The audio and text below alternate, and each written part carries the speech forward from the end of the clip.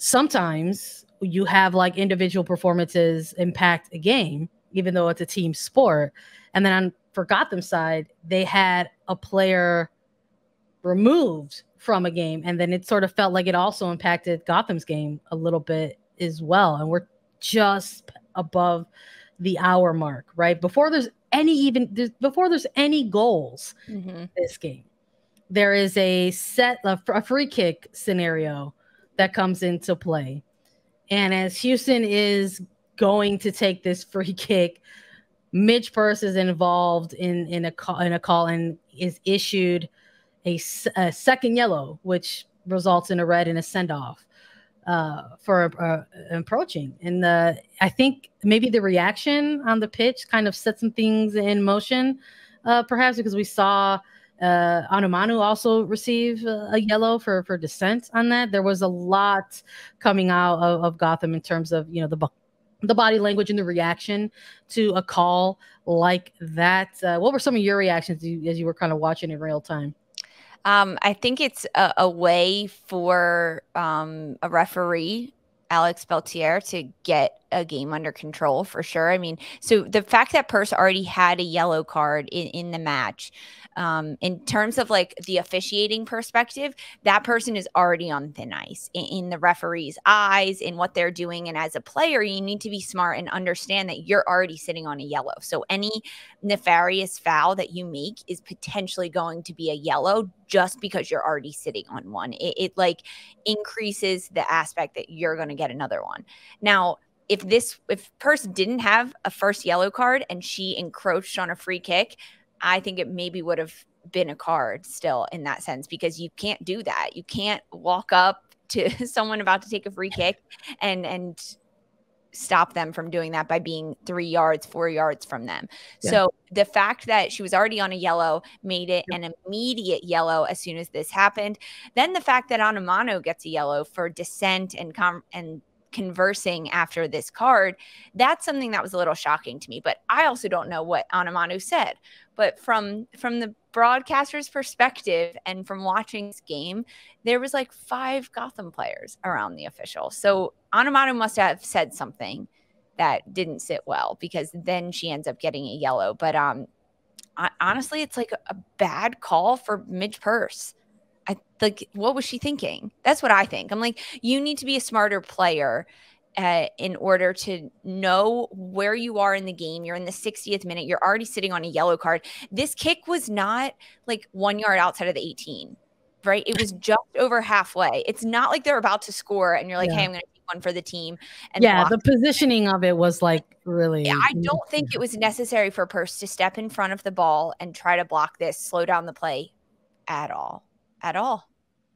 Yeah, it's um I just think it's it just kind of like goes in line maybe a little bit with like just kind of Gotham's season to date, quite mm-hmm. frankly. You know, it's like I, I, think people's, you know, reaction to it probably comes from the fact that it, it sort of bleeds into those arguments that people try to make week in and week out about um officiating in the league. And I'm gonna I'm someone who's gonna be far less critical of officiating when they actually make the call versus when yeah. they don't make the call. So I'm like, okay, well, they saw that happening. She was already on on a yellow, and it's a call that um, we don't often see made in NWSL, but that doesn't mean that once it's called, there's going to be like a lot of like chaos around it. So I think that perhaps that's probably some of the energy in, in that. It's it's similar to when you know, perhaps an official doesn't give the yellow as often for keepers who who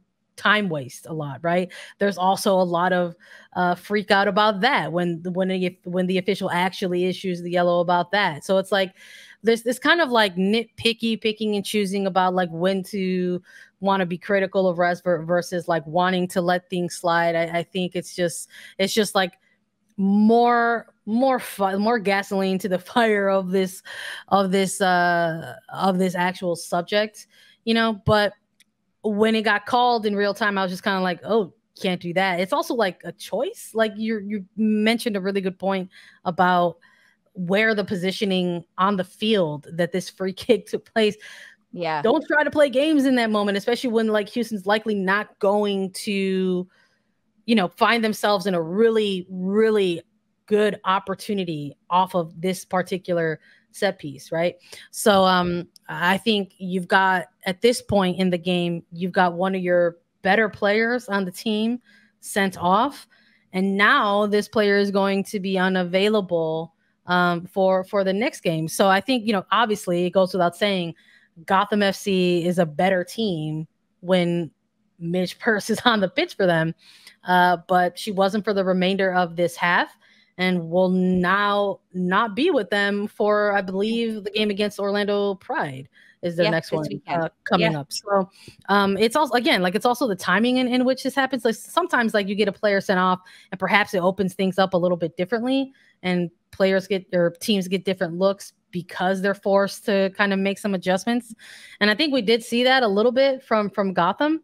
Um, but again, it's just one of these things where it was just little little too late and I think even with this goal from from Viggiano specifically, you just sort of saw this. It was kind of like a, a clear, more of a, a, defensive breakdown for me, yeah. versus like a moment of brilliance from from Viggiano. I mean, she is someone that I think has been having a very quiet, successful season with Houston. She's not someone that I think people are looking at and saying, "This is a player that has been absolutely integral."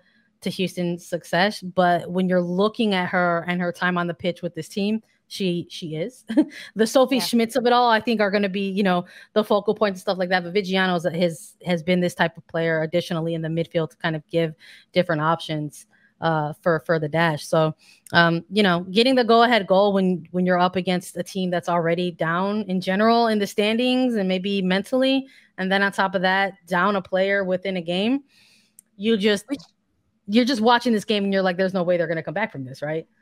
But then they end up getting a goal, right? McCall Zerboni gets one, but little things, I guess.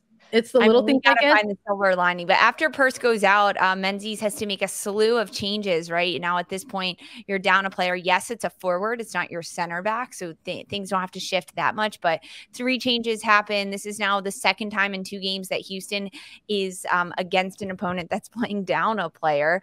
And last time against Racing Louisville, they couldn't close it out. That game ends in a draw. This time they still concede a goal. Like I'm, I'm nitpicking yeah. here, but Houston, you can't concede a goal when you're up a player player. Um, score two, you got to hold that shutout, right?